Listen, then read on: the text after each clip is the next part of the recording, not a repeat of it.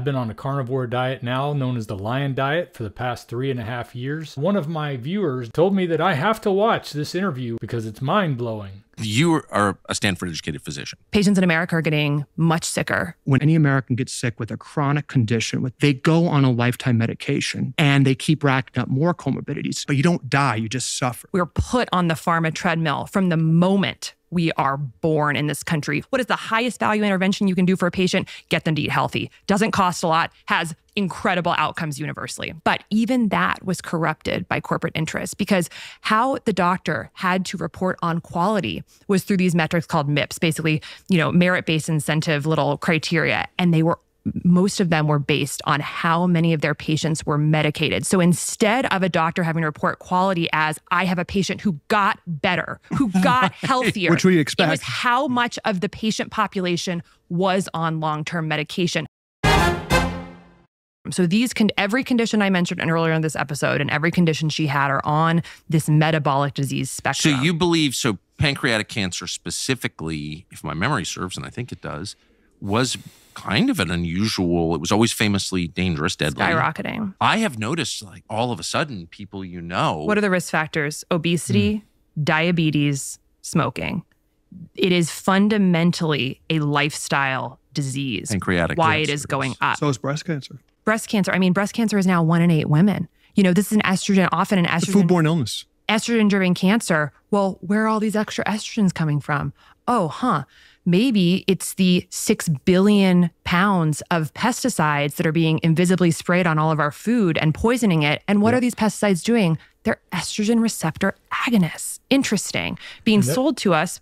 That's one of the reasons why I don't eat vegetables and I chose a carnivore way of eating.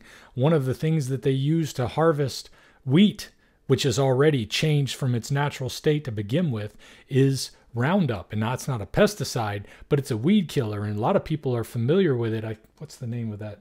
Well, anyway, I can't think of what the drug name is right now, or the medical name for it, or whatever the the name is for Roundup, but they use that to kill the wheat. So every cereal you're eating that has a wheat product in it, every food, bread, and everything else you buy that has wheat in it is going to have some Roundup in it and that is affecting us. And then, like she said, the pesticides. A lot of people don't realize that they're killing a large amount of animals to raise the crops that they raise the way that they're being raised these days. By killing all of the pests, they got to kill the squirrels and the smaller, uh, all the little bunny rabbits and all the cute little animals that like to come in and eat off those vegetables. They got to kill those too. They got to kill the bugs. They got to kill the worms, the caterpillars. And that stuff that's killing them is killing you too. And I'm not saying they're not using it when they feed the animals in a lot of cases that make up the diet that I eat all the time. But the one thing that's amazing about those animals is they're, especially ruminants, is that they're able to separate those toxins out of their food so that the meat that they have is not intoxicated with that bad stuff. Now, I don't know if it can get all of it out. That's one of the reasons I buy local as much as I can from a rancher that I know does regenerative farming practices and he doesn't use pesticides anywhere on his property. He doesn't use herbicides of any kind. He doesn't use anything other than Redmond salt, believe it or not, for his cows, and animals that come in after they leave the paddock. The pigs will come in and root around in the poop and spread it all around. And then the chickens will come in and eat, scratch around in that and, and eat all the bugs. And then about 45 days later, when the cows come back to that same paddock, they got tall, healthy grass that they can eat that's full of carbohydrates and gets them the fat that they need in their bodies without stuffing them full of corn. But I don't want that to be the reason anybody stays away from a carnivore diet because I got most of my benefit on a carnivore diet eating store bought meat. And hopefully that will remain the case for a long period of time. So don't let store bought meat being less expensive than local meat stop you from doing anything that's going to change your life radically for the better as far as health goes. Go ahead and get that store bought meat if it's all you can afford.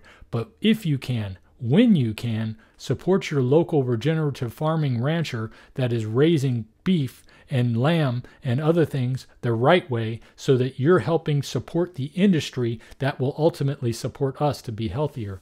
And hopefully, more and more farmers will get back to an older version of raising crops that might be able to reverse some of the problems that's in all of our, our crops that are that are vegetables, but also getting back to uh, seasonal harvesting of fruits and things like that, and not changing the way these fruits are made to make them sweeter. I don't know if that's going to happen, but I do know that a carnivore way of eating is going to help you fight off all of that stuff because it's done it for me and it's done it for a lot of other people. And if it has done it for you and you'd like to share your story, I encourage you to go to my website, ferrignofreedom.com, and click on the link where you can choose to submit a form letting me know about your carnivore story. And then I might be able to have you on my show to share your carnivore story with the world. Because the more people who are sharing their success stories about this crazy way of eating that we're doing called carnivore, whether you're lion diet or standard carnivore, carnivore or some version of carnivore. Maybe you're just animal based. If you're getting benefits from that, I want to speak to you and I want to be able to share it with the world so that more people can find out that this can be the solution for them to break free from everything that Casey and Calley and Tucker are talking about here right now. Hey, it's Dante Ferrigno. I just wanted to thank you first of all for watching this video, but I also wanted to tell you about my merch shop. I have a link in the description for a bunch of different items I've put together for you to be able to show your support for the carnivore lifestyle, and every purchase helps me to keep doing what I'm doing here on Ferrigno Freedom. China and from Germany, you know? Which they're not using in their food there. Let's go back. To Illegal. So what is that? What and what are these pesticides doing? They're estrogen receptor agonists. Interesting. Being hmm. sold to us from China and from Germany, you know? Which they're not using in their food there. Illegal. So what does that what does that mean? I'm I'm sorry. Does it, I just want to make sure the science is clear because I don't I don't really understand it. It's the effects of these chemicals on food is what? So the the ostensibly these these chemicals are being used 6 billion pounds globally per year because of pest control. They're also being used on our children's parks and golf courses and all over the place. They're invisible, they're tasteless, and they are directly toxic to our cellular biology. So they're pesticides. Side is the word for the act of killing. So herbicides, insecticides, fungicides. And they are so toxic that 20% of all suicides globally are performed by drinking pesticides. And yet we're told by our government that they're totally safe. There's this this one will this one will shock you. Uh, but you look at so you know the largest merger ever done in Germany was Bayer Monsanto, where Bayer, uh, which is a pharmaceutical company, merged with Monsanto, which is an agrochemical company in the United States. Um, if you look at what uh, Bayer makes, they make cancer drugs for things like non Hodgkin's lymphoma. If you look at what Monsanto makes, which is Roundup, which is the most widely used pesticide in America, the cancer that it uh, causes is non-Hodgkin's lymphoma. They've paid out $11 billion in the past couple years for non-Hodgkin's lymphoma cases. So the companies are merging that are directly known to cause the disease with a medical company that has a treatment for the disease. Like this is very, very dark.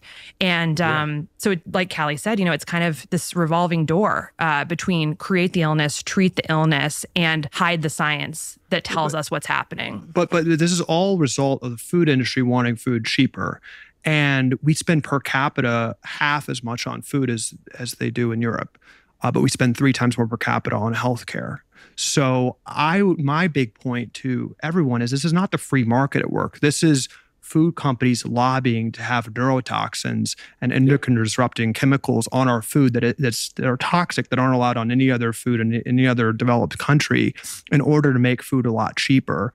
And then to your point about, you know, what does the, um, what do these are you listening, America? Are you listening to what he's saying? It's not about the free market. It's not about capitalism.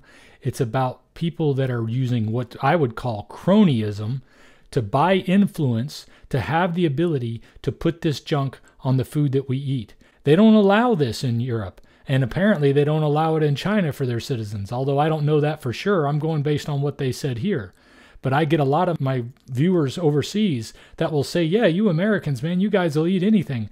It isn't like we're choosing to do that, it's that we trusted our government to protect us from these things. That's one of the reasons why I have been fighting against using regulation to do this stuff is it's given everybody this false sense of security that this stuff is safe and it's not. When you pull up to a McDonald's and you see that test from the health department that has a score of 100 on it, a lot of people look at that and they think, "Oh, that means it's clean here and I'm they're not serving bad food."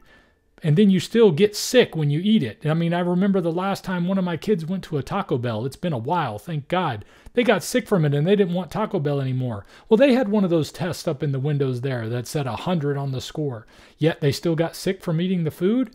Something ain't right. And it's because there is a false sense of security that's given when these people are being bought off and paid off in some way or another. It's allowing us to make decisions that are skewed by things that we're supposed to be able to believe in, but we can't. And it's a shame, but it's the truth.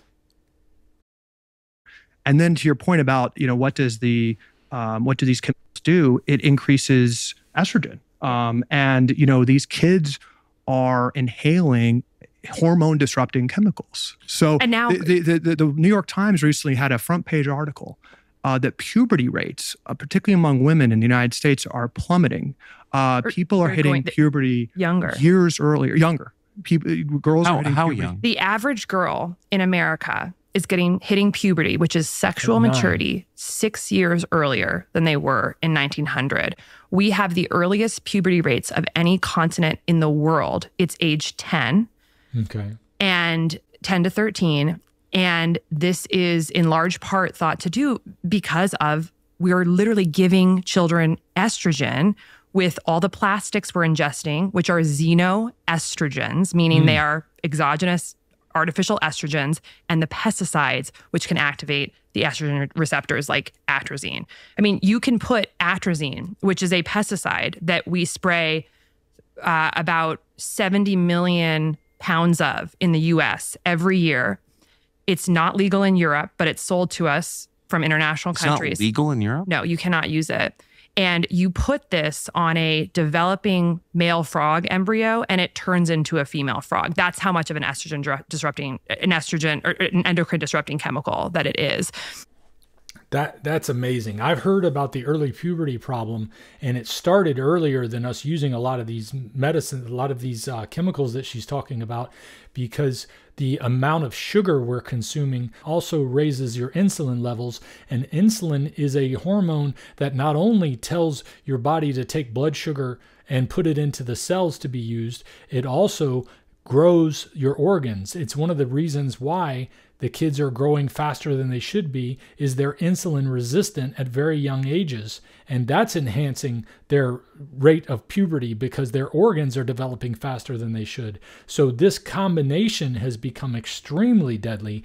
and i wasn't even really focusing on this previously. So i'm learning right along with you guys as i watch this and i hope that you're taking notes because this is serious stuff. And if we're not sharing this with our families, then shame on us because we're not watching out for those that we really love and care for. If we're letting this information go into our ears and we're not sharing it with the other people out there in the community, I'm taking a risk to put this on my channel because I know that a lot of the things they're going to talk about are going to get it demonetized. And me being a small channel like this, I could even lose my whole channel status. So any support you can give watching me here or on Rumble or on Odysee or on Facebook, I or on X. I appreciate it because it's going to be, allow me to keep getting this message out so that I can afford to take care of my family while I spend all this time looking at this type of thing and putting it into small digestible bits or sharing my story with you so that you can know that there is an answer to all this stuff for your individual use, something you can put into practice now that's going to help you to get yourself better, to get your family better, but also to be able to offer this information to you to share quickly with your friends where it's not just some goofy guy like me out there that's trying something crazy like a carnivore diet, but you've got Stanford trained doctor here that's telling her story about what's going on in the medical community and this is not the only story out there like this. There are tons others, and I've shared some on my YouTube channel, and there are a lot of carnivore doctors out there who are telling the truth about this, like Dr. Ken Berry and Dr. Shawn Baker. And I encourage you, if you've never heard of those people, to look up their channels on YouTube, and you'll get an earful of some really good information on what's going on out there that could save your children's lives, that could change your life for the better within weeks of doing it. I noticed it within days of switching to a carnivore diet that I was feeling better. And then after losing nearly 100 pounds, or over 100 pounds at one point, that it changes things. And then I started exercising because I had the energy to exercise thanks to a change in the way of diet. And age 51, I feel better than I did my entire life. That just blows my mind because I really thought at age 48 I was already done. I'm kind of ready to check out. I feel awful. I'm tired of this stuff. I'm tired of the pain that I'm in. I'm tired of feeling fat and sick and all the things that I felt. And I know there's a lot of people out there right now that are feeling the same thing that I'm talking about, that feel stupid and crazy when they talk to their doctors and their doctors can't find anything that they can fix, but they can sure prescribe a lot of medicine for you and you never seem to be getting better this may be the answer that you've been looking for. I can't say that definitively because I don't know your individual problems, and I also have to be careful of what I say and how I say it in a public forum like this because they could take it down at any moment or they could shut me down altogether. But that's why I keep reiterating. Please share this information as much as you can. Share the original video for this, which I'll have a link for in the description and share this information with your family yourself, especially as you start to see changes. Anyway, I've gone on about that too much. Let's go ahead and continue. So these chemicals are not inert. And again, because we can cherry pick science and so much of these science, I mean, these papers are PR papers paid for by industry. The Monsanto papers was a huge thing that, you know, revelation. They had to declassify these documents that Monsanto had basically ghost written scientific papers to say that these chemicals are safe. Wait, can I just yeah. ask an obvious question? So the incidents of transgenderism or whatever we're calling it uh, have skyrocketed, thousands of percent increase in the last 10 years. And there are many threads to this. It's partly a political movement, social movement, but you sort of wonder if it's not also a biological Absolutely. response to these chemicals. Is that I'll say I'll, I'll say this just as a demonstrable fact our child's environment is to an unprecedented degree full of hormone disrupting chemicals. The assault on a child's cells and hormones is unrelenting right now. Unrelenting. And their bodies are small. They can't handle it, you know. So you take a child and you put them on a screen for the average kid is using a screen 7 hours a day. Okay? And so this is hitting their dopamine. So that's one input. You've got we're eating a credit card's worth of plastic per week, right? And these are hormone disrupting chemicals. All of our How food are we is eating uh, plastic in that volume. Well, the, the plastic, food. well, plastics are in everything now. They're in our air. There are nanoparticles of plastic in the air we're breathing. They're in our water. They're covering every piece of food that we buy in the grocery store. You go to Europe, all the vegetables are just, you know, they're just in these free markets, you know, they're not packaged. In the US, you go to Trader Joe's, every single piece of food is covered in plastic. That's, you've got the plastic water bottles, every single can that we drink in the United States is lined plastic with a plastic lining, coating, yeah. every single one. It's all getting in. And this can actually directly disrupt our mitochondrial function, which is the metabolic machinery of the cell. So microplastics actually can disrupt the way we make energy in the body. And we know that metabolic issues are the root cause of every chronic illness facing Americans today. You can't make this up, you know? And then you have the endo, you have the, there's many effects of these things. Um, but endocrine disrupting and mitochondrial disruption are two of the really big ones. Um, then you've got the kids eating 70% of their calories that a child is eating today is from a factory, industrially manufactured, ultra processed foods. We know that these foods are destroying our cellular biology. So it's really, you know, and with school start times, kids are not getting enough sleep. So across sleep, across movement, you know, the average kid is spending less time outdoors than a prisoner in America right now.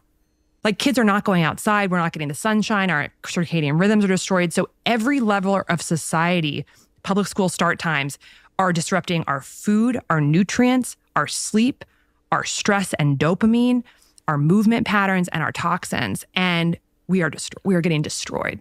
And this is the visible hand. And, and, and we just have to understand this when we're thinking about healthcare policy. There's nothing more profitable than a sick child, as I said, or really hijacking a kid's dopamine right? Think about the trillions of dollars that are generated from a child's dopamine being hacked, being on that phone all day. You know, it's neither good nor bad necessarily. It's just an economic fact. There's a huge incentive for that kid to be, you know, their chronic stress to be just triggered nonstop on that phone. There's huge profit for a child to be addicted to ultra processed food and continuing to demand from their parents that food. You know, there's huge addicted. There's huge uh, incentive for a child to be sick and getting on the statins, which are doubled in prescription rates in high schools in the past 10 years, to get on the SSRIs that are now handed out like candy in high schools, to get on the metformin, you know, to get on the Ozempic, which is now being recommended. Uh, they're pushing for six years old and up for if your child is overweight, lifetime prescription Ozempic. That's very profitable. So, so you have basically the free market at work. I think capitalism is the greatest invention in human history. But just looking agnostically at the incentives, it's as many pills as we can give that kid, as much we can keep that kid in fear, as much as we can keep that kid sick without dying right away. That's what's fueling the largest industries in the country. Most.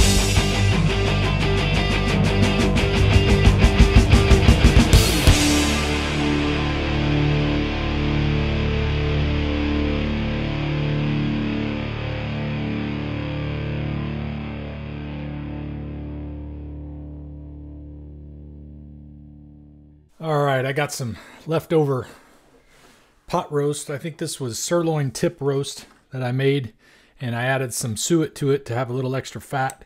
So it's all all that liquid you see. I don't know if you can see anything in there, but all of that liquid is fat. I didn't use any water when I cooked this this roast, and I was just reheating it because I made this a couple days ago, and I love it. But you know what I love even more is my wife. After three and a half years of doing this, is starting to get serious about her diet as well and she just pulled out a pack of ribeyes I didn't even know she had put in the freezer. So I'm excited. I get to have ribeye tonight. We haven't had a lot of ribeye lately because the cost has been a little bit rough. I've been eating a lot more hamburger because I buy whole cows and I have tons of hamburger meat. So I'm excited. We're having ribeye tonight.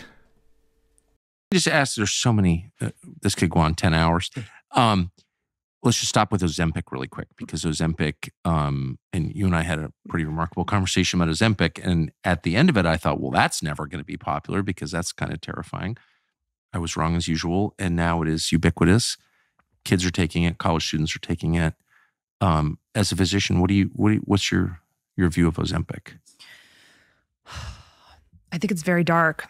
I think it's um, it's a stranglehold on the U.S. population, almost like solidifying this idea that there is a magic pill. I mean, literally, the book by Johann Hari is called Magic Pill, uh, and convincing us that you know salvation from our chronic health issues is going to be found in a shot when we are living in a toxic stew that's destroying our cellular biology. You know, it's of course for certain patients taking GLP-1 agonists is going to be helpful for their conditions and might jumpstart their their way to getting is, back to is health. that the name of the the active drug? GLP-1 agonists. Yeah, so GLP-1 Sorry, is, not not fluent in this. No, no, it's it's that's what the medications are. And so they're basically simulating a hormone that's made in our digestive system that cues satiety and does many other things.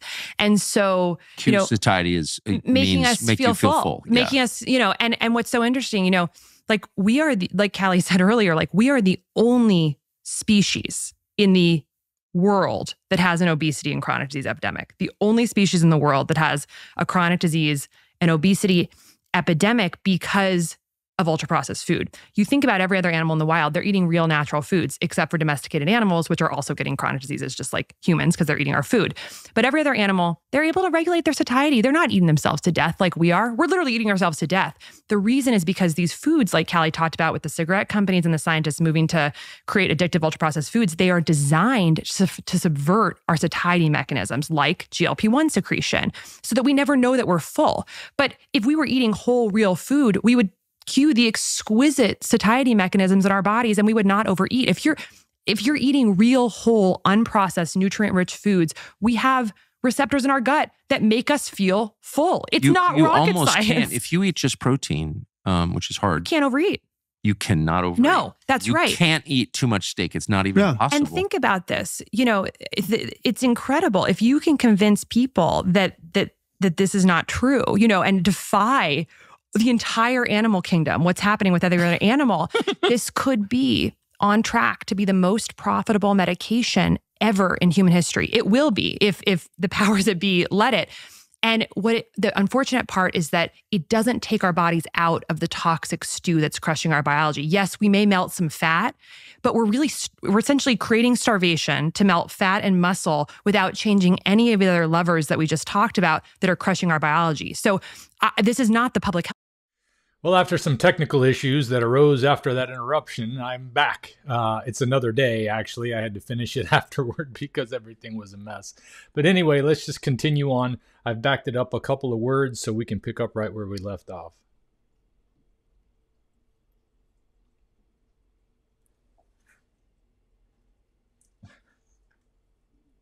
Uh, this is not the public health solution. You look at what's happening, though. Do you think there are potential downsides to it? I mean, there's every medication has downsides. And this one has well known side effects. It disproportionately causes lose muscle mass, which creates frailty, which is one of the things that can cause old people in old age to have very poor quality of life and early death.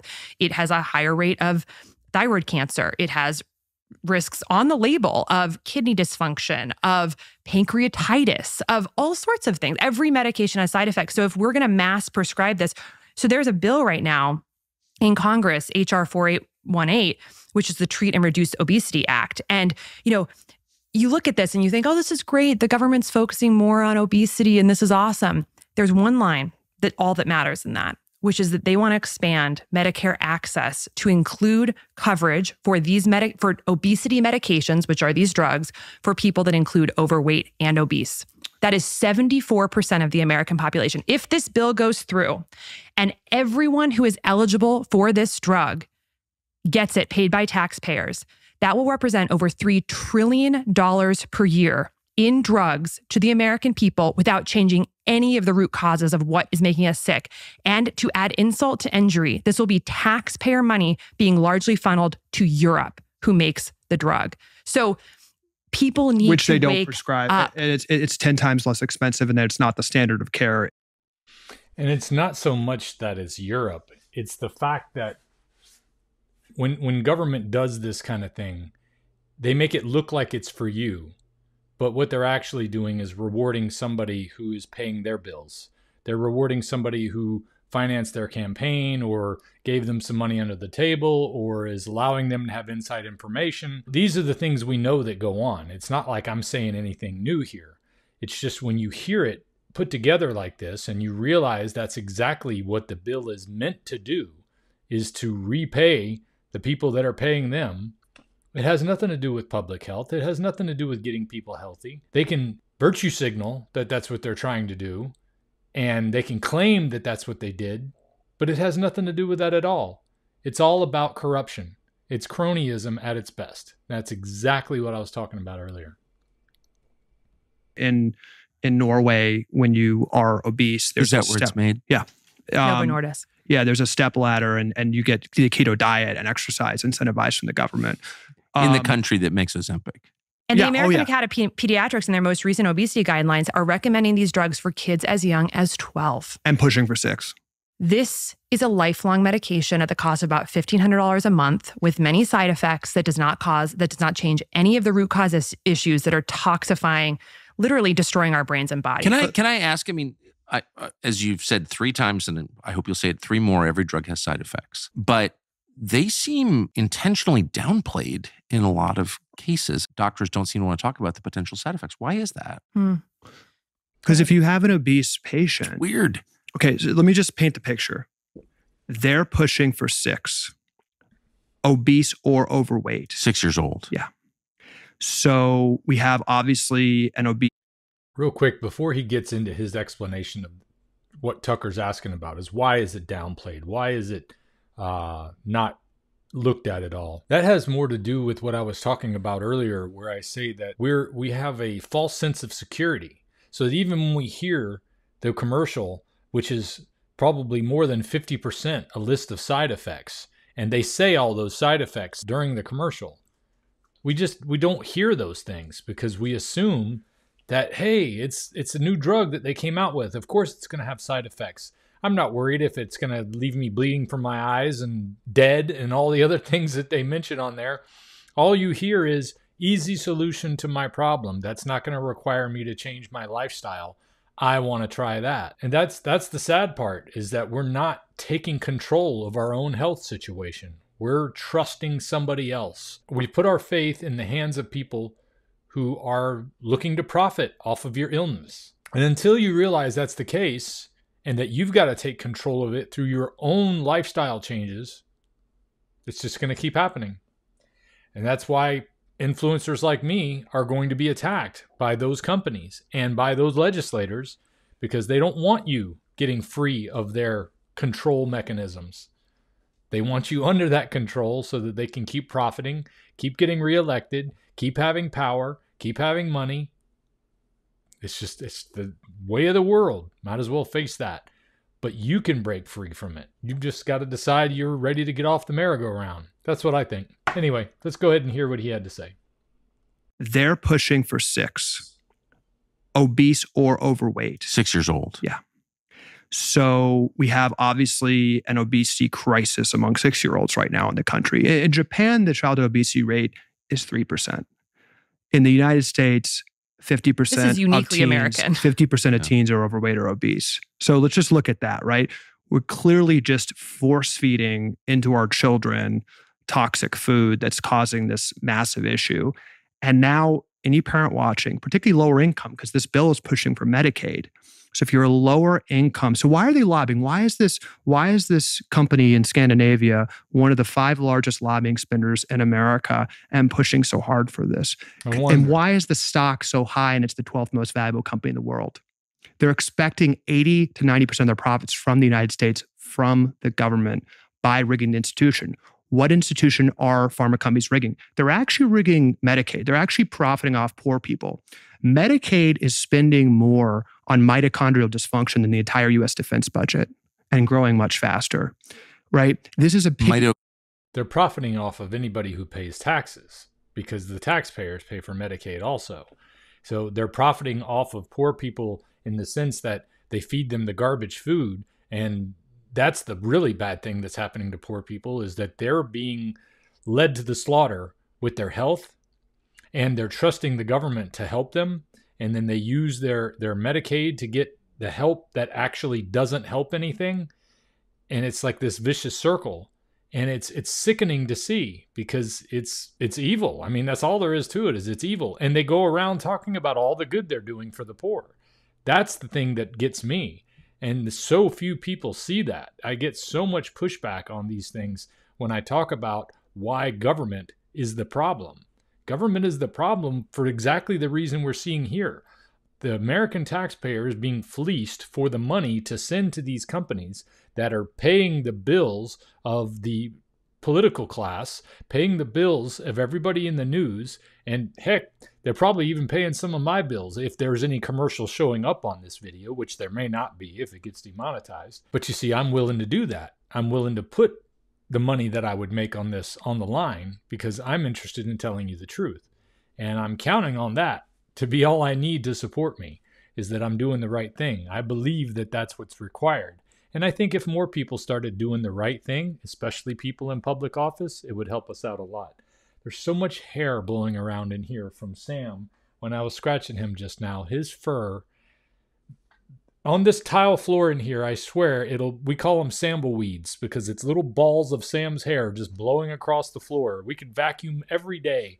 My vacuum cleaner, I could fill up an entire dog's worth of hair in there after two days of vacuuming, and then he'll come back and just do the same thing again right after that. So funny. Anyway, let's get back to this serious business.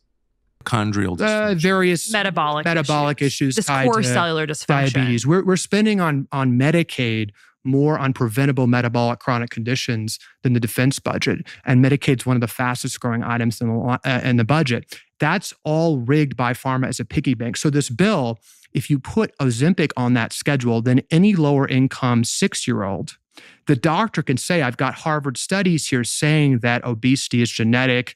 It's not your child's fault. Let's get them a lifetime jabs. well, if it's genetic, why didn't it exist 100 years ago? Good question. But Harvard and the NIH and the American Academy of Pediatrics is saying it's a brain disease, it's genetic. And on 60 Minutes, as we talked about, a leading Harvard physician, Fatima Cody Stanford, said that it's a that uh, throw willpower out the window. This is a genetic condition, and it's actually, she said, uh, an affront and classist and racist to suggest it's anything other than genetic. So that's the message being told from the medical system. You ask why? Because the second you can get that six year old on a lifetime injection. And let's just take this to every drug. It's the chronic disease treadmill. They're told that injection is a savior, right? And then the government, it's the largest line item in our budget. It's going to bankrupt the country. It's growing faster than any other line item in the budget, right? And Medicaid, the government is going to pay for that lower income kid $1,500 a month because the government also has to just pay the sticker price, right? We're paying our sticker price is 10 times more expensive than Germany. So, so, so, so the second you get something on the Medicaid schedule, then all lower income people are open season. And what's so criminal about this and what's so representative of why this is a problem is that the medical system is saying, they're saying it's a social justice issue, it's a moral issue. We have to pay $1,500 for 74% of US adults who are overweight or obese per month. That we have to, we have to find the money. The stock is the 12th most valuable company in the world. Have expectation that the US is going to say that.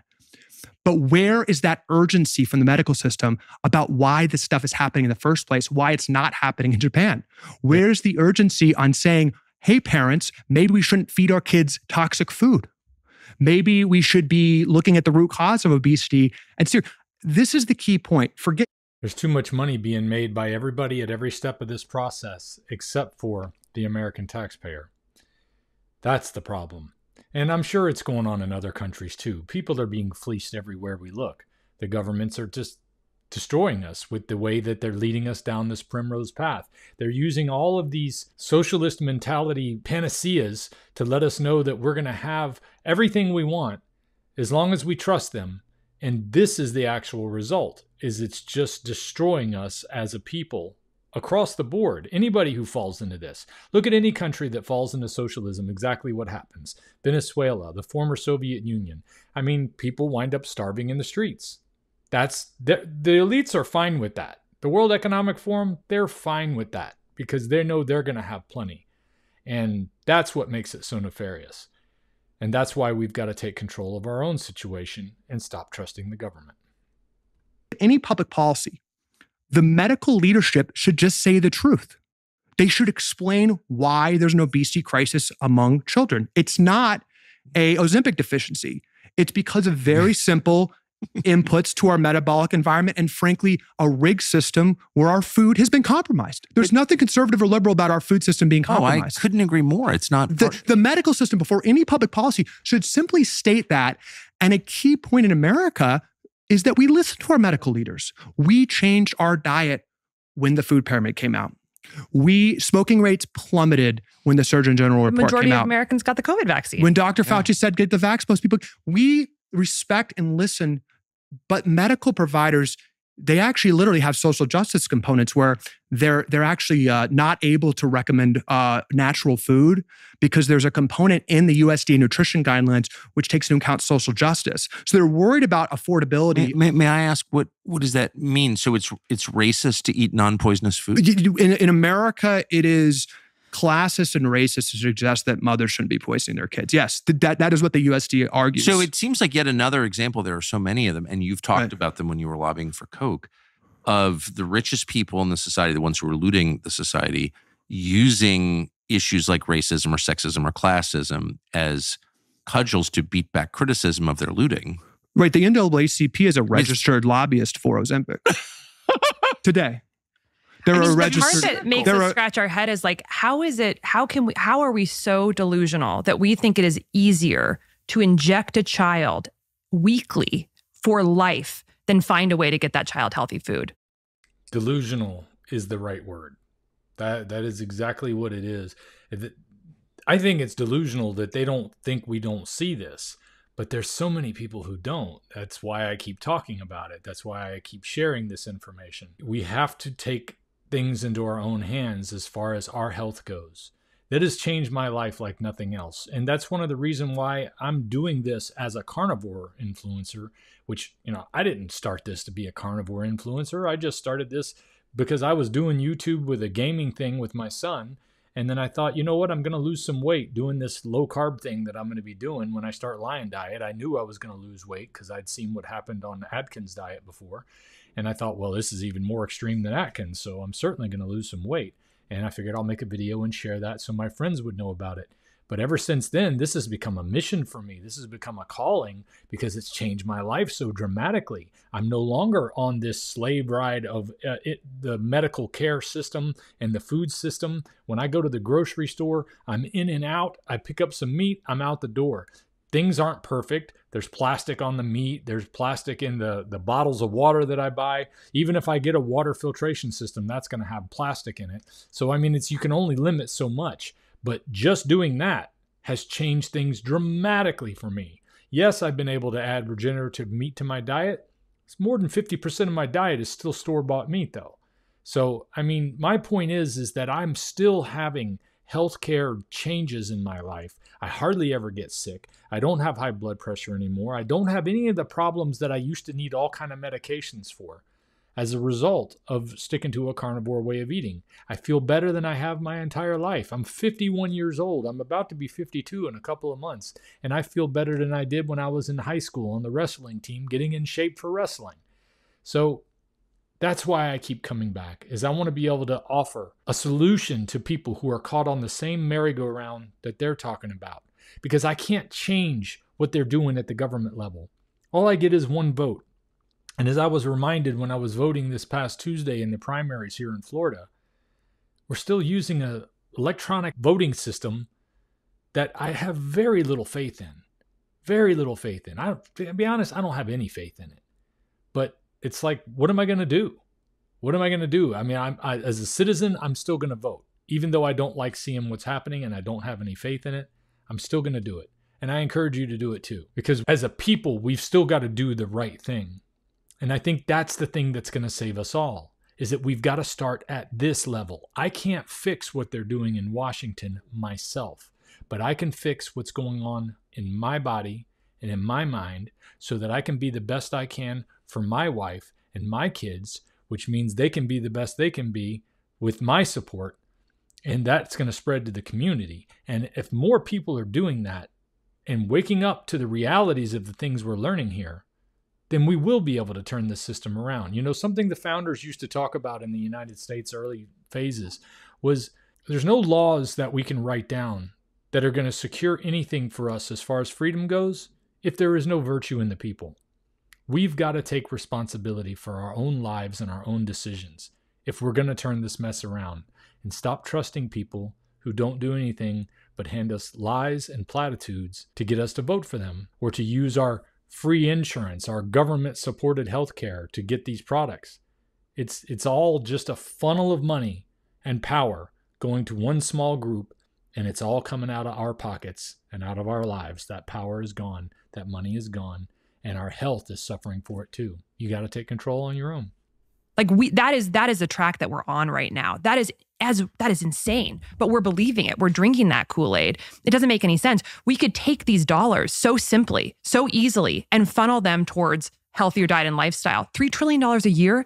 We could, we could feed every country, every single American family with organic food for $3 trillion a year. But instead, we're, we're taking those healthcare dollars and steering them towards drugs, which doesn't fix the root cause issue. Our message isn't drug or anti drug. It's just like, let's look at the problem. Like, say, say you're just an alien that came down from space. You look at America, kids and adults are just overwhelmingly metabolic dysfunctional, obese, diabetic it's like you'd never say like let's keep have this keep happening and then jab everyone and drug everyone and manage the good it was just never it's just follow the science. Maybe drugs actually do come into play there but the history of chronic disease medications has been a complete disaster. We always say if you have a gunshot wound a uh, an emergency surgical need that's going to kill you right away, infection. complicated childbirth, infection, 100%. The, the medical system is a miracle. Acute issues. Chronic disease medications didn't exist before 1960. The first one was the birth control pill, the first pill that you took for more than a couple weeks that didn't cure the issue ever? right away, ever. So in 1960, 0% of the medical budget was on chronic conditions where we can talk about that. But 90, 0% eh, was chronic conditions. Today, 95% of spending is on chronic conditions because what the, the system realized is that they can take the trust engendered after World War II with antibiotics and various medical innovations that helped win that war and then steer it towards chronic conditions. So by the 1970s, 30% of women in the United States were on Valium, a highly addictive drug. Valium, physically addictive. Yeah. And, uh, and and and it's just been a battle to shift the medical system to chronic disease. Can we just go to the pill really quick?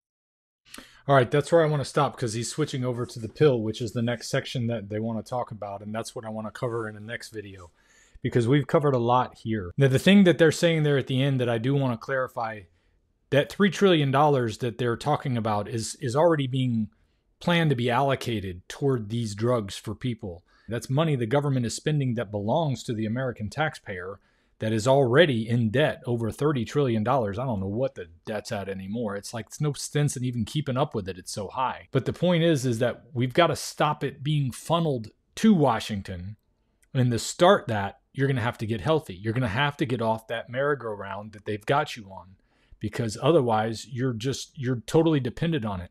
The chronic disease issue is exactly what the problem is. It's the acute medical care needs that we have that are what force us to still want to hold on to the medical community. The medical community should be there to patch you up after a car accident or anything else that happens that boom, you got hit by something hard that you need to get some medicine or mostly surgery for. We we definitely want that. But what we've got right now is focused so much on chronic care, problems that we didn't have 100 years ago. We've got to focus on root cause. And root cause is going to go to diet more than anything else. And if you want to fix that root cause in your life, I'm telling you right now, a carnivore way of living has done that for me. So I encourage you to check out other videos on my channel where I've talked about my journey on this way of eating.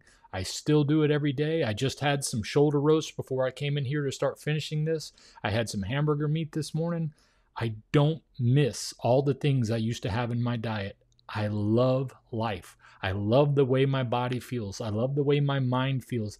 I love the way I'm able to go to the grocery store and not feel like I'm a slave to all these things that want my attention in there. All these advertisements on TV that used to get my attention for the McRib and for the Frosty that was at Wendy's and whatever else they wanted to advertise. They have no power over me anymore. You can break free from that stuff, but it's going to take a serious lifestyle change in the way you eat. So that's my thoughts on that one. We'll come back and check out the rest of this on another video. I appreciate you being here. I'll see you next time.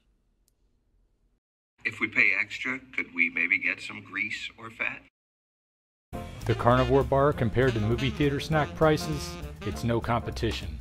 With a tub of popcorn running you over $14, I'd much rather enjoy the salty, crunchy, meaty goodness of a carnivore bar any day, and I don't have to cheat to enjoy my night out. Carnivore Bar. Save 10 to 20% when you use my link in the description of this video.